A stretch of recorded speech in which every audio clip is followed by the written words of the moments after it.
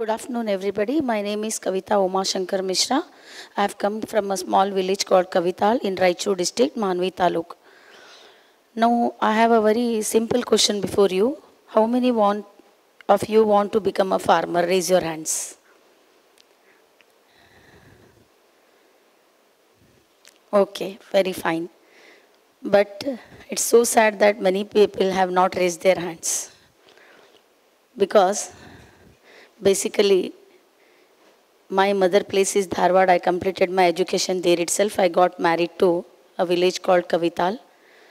But uh, actually, I used to write very beautiful programs.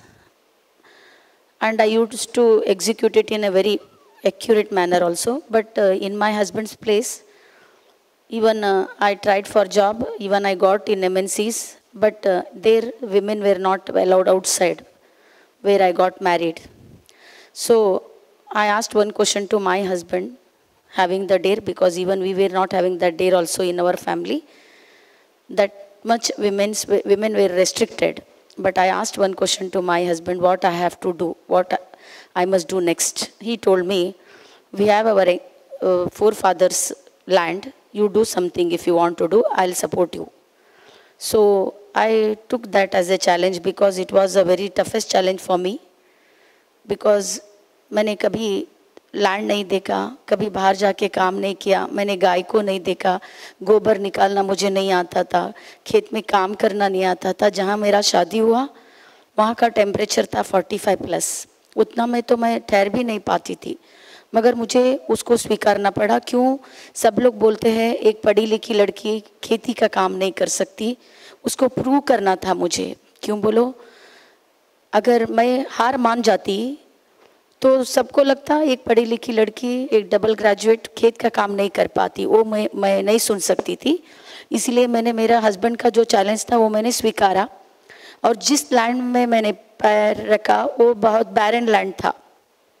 वहाँ पर कुछ भी ग्रो नहीं होता था। Even half bag of bajra was next to impossible it was only stony land we were not having any irrigation water table nothing was there तो मैंने मेरा शुरुआत किया, पहले वो लैंड को पैरेलल किया, सब पत्थर निकाला, उसको सब तरह से उसको एग्रीकल्चर के लिए रेडी बनाना था ना, वो मैंने शुरुआत किया। उसके बाद नेक्स्ट को सवाल आया मुझे, पानी का, वहाँ पर पानी नहीं था।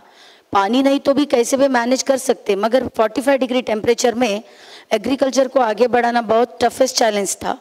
इसीलिए मैं पानी का, बोर का डालने का कोशिश करते गई। बहुत मैंने मेहनत किया, बहुत मैंने एफर्ट डाला, मगर मुझे पानी नहीं मिला। एट लास्ट जा कर के मेरा लास्ट एफर्ट था। जब मैं अभी क्विट करने ही वाली थी एक लास्ट एफर्ट करना मैंने सोचा तो मुझे पानी मिल गया।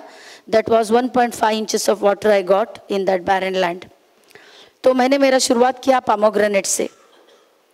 I started with pomegranate I got a very best prices, 65 rupees kg. And uh, I got uh, the lump sum amount of uh, 5 lakhs 60,000 rupees from 8 acres. तो मैं इतना खुश हो गई, इतना खुश हो गई। अगर मैं एमएनसी में काम करती तो भी मुझे उतना नहीं मिलता।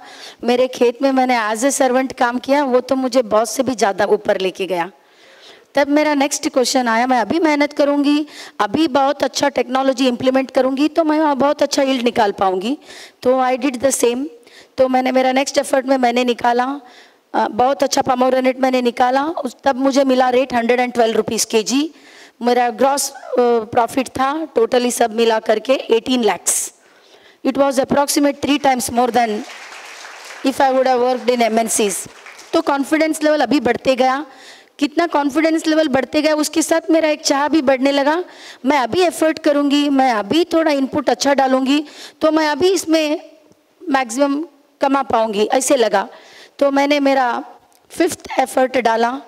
वो मैंने पामोग्रेनेट निकाला, मेरा pomegranate each fruit was carrying five to six hundred gram and it was export गया वो।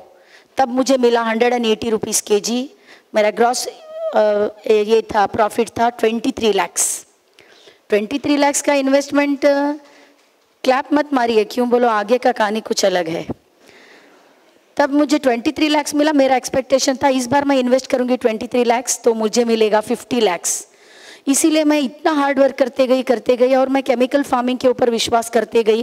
मैंने ज़्यादा केमिकल खाद डालना शुरू कर दिया और मेरा एक्सपेक्टेशन था 50 लैक्स को किसी भी तरह मुझे हासिल करना है।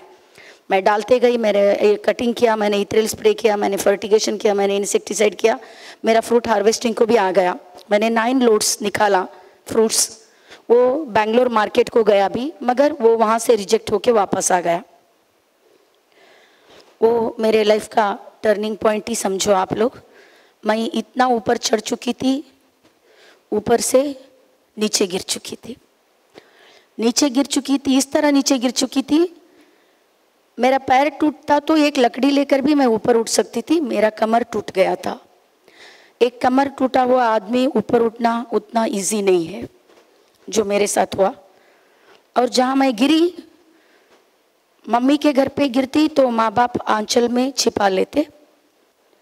मैं गिरी तो भी इन लॉज के पास। वो बहुत बड़ा इशू हो गया।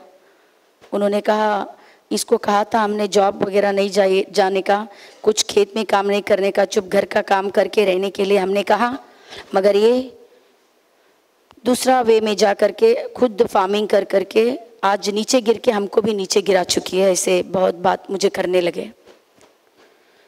एक वक्त ऐसा आया, मैं उनको फेस नहीं कर पा रही थी। बहुत टूट चुकी थी। एक बार सोचा, अपने आप को ख़त्म कर लेना बिकॉज़ मैं सोसाइटी को फेस नहीं कर पा रही थी। उतना मुझे, मेरे ऊपर प्रेजर आ रहा, डाले जा रहा था। क्यों बोलो, सब लोग उसी पर विश्वास रखते हैं। जो बैल दौड़ता है, उसके ऊपर सब विश्वास करते हैं। जो गिरता है, उसके ऊपर सब लोग पत्थर मारते हैं। मेरे साथ भी वही हुआ। तब मैंने एक बात सोचा, मैं जैसा गिरी, वैसा सब फार्मर गिरे होंगे ना। गिर करके जब उनको सोसाइटी को फेस करना नहीं होता, आता नहीं है, तभी वो सुसाइड का सोचते हैं, जैसे मैंने सोचा। ऐसे फार्मर के लिए मुझे कुछ ऐसा करना है जो सबको बेनिफिशियल हो। क्यों बोलो? सब लोग बोलते हैं, घर का आदमी तो वो घर का बहुत बड़ा माउंटेन जैसे होता है। अगर वो हो तो उसके छाँव में हम लोग रहते हैं। अगर वही चला गया तो वाइफ और किड्स को बाहर एक्सपोज होना पड़ता है। वो सबके घर में होता है जो मेरे साथ हुआ। तब मैंने सोचा, मैं नीचे क्यों गिरी? मैंने सिर्फ़ मोनोक्रॉपिंग कर, पर भरोसा किया। Monocropping is always dangerous so this time I plan multi cropping and multi cropping farmer को अपना खेत में ऐसा प्लान करना है, उसको क्वार्टरली इनकम आना चाहिए।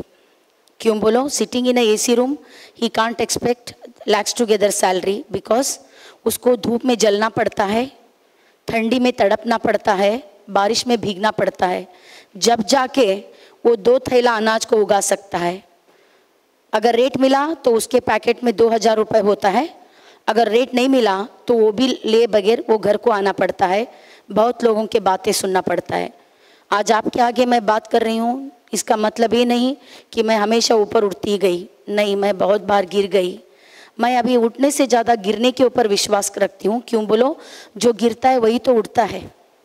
इसीलिए मैंने मेरा जर्नी शुरू किया वहाँ से। इस बार मैंने ऐसा प्लान किया मेरे फार्म पे along with horticulture crop going to the agroforestry.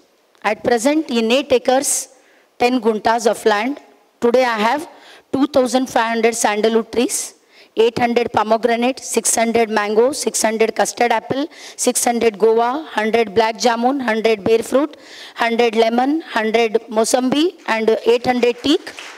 Along with this, मैं बकरी पालन करती हूँ मैं मधुमक्खी का पालन करती हूँ मैं गाय का गौशाला चलाती हूँ मैं मुर्गियों का पालन करती हूँ मैं इतना सब क्यों कर रही हूँ क्यों बोलो? आजकल की लड़कियाँ अगर कोई फार्मर है तो उससे शादी करने के लिए साफ़ मना कर देती है। क्यों बोलो? वहाँ मंथली इनकम नहीं होता और रिटायरमेंट पे पेंशन नहीं होता। इसीलिए मैंने ऐसा एक प्लान किया जहाँ फार्मर को मंथली इनकम आना चाहिए। So only I went for seasonal crops that means from mango season we must get mango and from custard apple season we must get custard apple. We don't know the market because it is not in our hand. We are not policy makers. My uh, sincere suggestion to the farmers, don't go against the system. Move along with the system in a knacky way. जितना पैसा आपको आम से आता है Peru से आता है अनार से आता है वो मंथली इनकम हो जाता है वो टेन थाउज़ेंड आए ट्वेंटी थाउज़ेंड आए वन लाख आए because we don't know what will be the scientific price for our product which we have grown in our farm so better you move along with this system and when 45 to 50 years में जब farmer अपने आप को खेत के काम में ढाल नहीं पाता, उस वक्त उसका हाथ पकड़ता है, वो वो वो जो फॉरेस्ट्री ट्री है, उसका नाम है चंदन that is sandalwood according to the government rate of Karnataka today's existing price of sandalwood is per K G ten to sixteen thousand rupees per K G per tonnage approximate it will be one crore fifty lakhs from one acre a farmer can expect minimum 4 to 5 tons that means he is speaking in crores a engineer may can speak in crore a doctor may can speak in crore but an uneducated farmer must also speak in crores that is my vision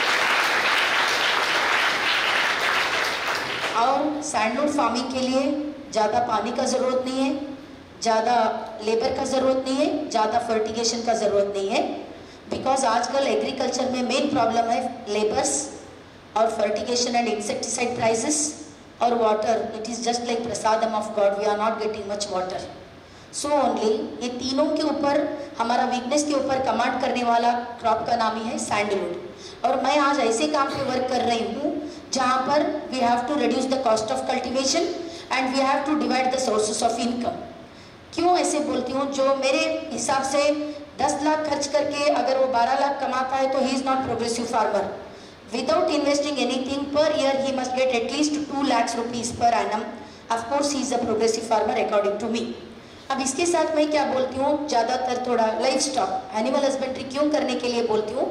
आप लोगों के पास यहाँ officers बहुत लोग हैं, पढ़े लिखे हैं, सब है। आप लोग जब कहाँ काम, कहीं पर काम को जाते हो तो आपको बोनस मिल जाता है, आपका दीपावली हो जाता है न्यू ईयर हो जाता है और युगादि हो जाता है, मगर फार्मर का नहीं होता, उसके पास वो नहीं होता। जिस दिन बारिश आता है, वही तो उसका, पाल का दीपावली होता है। इसीलिए मैं कह, करती हूँ, कहती हूँ, आपको बकरी पालन करना चाहिए, मुर्गी पालन करना चाहिए, शहद पालन करना चाहिए, गौशाला, ये सब आप करेंगे तो they are like ATM card you can draw the money at any time and you can celebrate your festivals in a beautiful manner that is my suggestion to all farmers और इसके साथ मैंने मेरा जर्नी शुरुआत किया five rupees से with a small bit because I am a middle class woman with a very lowest budget that too with a restricted because मैं जो करना चाहती थी, मैं इंजीनियर बनना चाहती थी, मेरा सपना मर चुका था, मगर मेरा छल नहीं टूटा था कुछ कर दिखाने का। इसीलिए मैंने शुरुआत किया फाइव रुपीज़ से। Today in agriculture I am a woman entrepreneur because today I am giving my seedlings of sandalwood to all states of India it may be Muzaffarpur Bihar Chhattisgarh Raipur Mehsana Gujarat Telangana Andhra Pradesh सब जगह मैं मेरा sandalwood का seedlings बेच रही हूँ और वो कैसे कर रही हूँ? With disease resistant and drought resistant क्यों बोलो? अगर ज़्यादा डिसीज होगा तो हमारा सीडलिंग मर जाएगा। इसीलिए मैं जीवामृत पंचगव्य दशपर्णी का उपयोग करके अच्छे तरह की सीडलिंग्स बहुत क्वालिटी सीडलिंग्स मैं दे रही हूँ। और ये क्यों कर रही हूँ बोले तो फार्मर्स का पास जो पैसा नहीं है, उनको एम्प्लोर करने के लिए तो मैं ये एफर्ट कर रही हूँ। और आज मैं सैंडलवुड ग्रो कर चुकी हूँ। At the age of seven years I have cross the girth of 65 centimetres which is possible only at the age of 15 years so my suggestion to all the farmers no today you also grow the sandalwood and बहुत बार ऐसा होता है farmer का पत्नी जो रहती है, वो भी बहुत दूसरे ऑफिसर्स के वाइफ के साथ अपने को कंपेयर करने जाती है। मैं भी ऐसा पहन सकती हूँ, मैं भी इतना गोल्ड डाल सकती हूँ, मगर उसको नहीं होता। क्यों बोलो? उनको रेस्ट्रिक्टेड सोर्सेस रहता है इनकम आने का। तो अगर फार्मर ऐसा प्लान करेगा along with animal husbandry, along with forestry, along with horticulture, along with ag uh, agriculture crops, if we'll plan one acre of land, because keeping in a very small holder uh, of a farmer, I have planned this because मेरे मन में तो 100 acres का farmer sir में नहीं है one एकड़ का जो लैंड होल्डर का फार्मर है ना उसको सिर में रख करके ही मैंने ये प्लान बनाया है अगर फार्मर ऐसे कुछ करेगा तो believe me he will speak in crores I guarantee he will speak in crores. और मेरा जर्नी जो है, मैंने कहा, मैंने बहुत अच्छा प्रोग्रामिंग किया, मैंने पोस्ट ग्रेजुएशन ख़त्म किया, मगर एक एसी रूम में बैठ के मैंने प्रोग्राम लिखा, इसीलिए मुझे नेशनल अवार्ड इंटरनेशनल अवार्ड नहीं मिला मैं मेरे खेत में गोबर कचरा निकालती हूँ, मेरे गाय का दूध निचोड़ती हूँ, मेरे बकरी का पालन करती हूँ मेरे मुर्गियों को दाना डालती हूँ, मेरे नर्सरी के प्लास्टिक में मिट्टी भर करके उसके अंदर सीडलिंग्स में बनाती हूँ, मेरे खेत का सब काम करती हूँ। इसीलिए ही तो मुझे आज ये प्लेटफॉर्म पे बुलाया गया है। मैं यहाँ यूथ को एक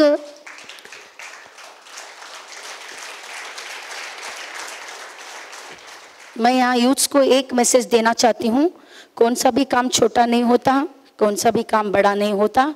अगर अच्छे सोच और अच्छी नीयत के साथ अगर कुछ काम आप करोगे तो मैं आपको लिख के देती हूँ, कामयाबी आपका कदम चूमेगी।